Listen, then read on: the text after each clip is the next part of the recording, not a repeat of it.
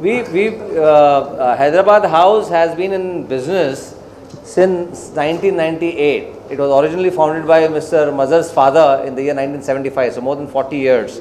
We've always been making haleem and serving in the outlets, uh, but we have not been known per se to be a, a player in the Ramzan market of haleem, which is where haleem is actually uh, sold.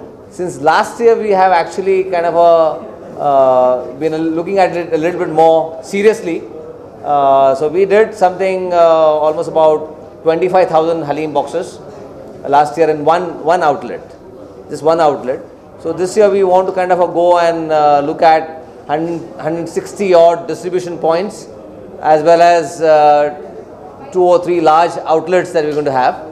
And Zaika is where uh, beyond Haleem, you know, the, beyond the obsession of Haleem, you would see that, you know, lots of places Haleem has been sold. But if you go there as a family, you don't have any place to sit. So you're either standing on the road or eating it in the car, which is not a very comfortable, uh, you know, place.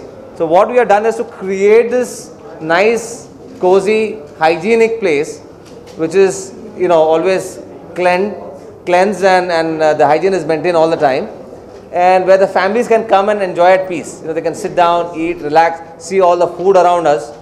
And uh, that's what we created and that's what went viral last year.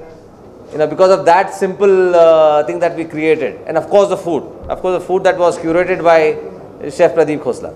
Uh, I have not been able to tie up yet with the uh, lucky draw, but I think uh, uh, that was only for Haleem last year. This year we are, we are still looking out what we can kind of do Uh, to you know in the, the, sort of spirit of festivity what gifts that we can give to our customers but we are not yet decided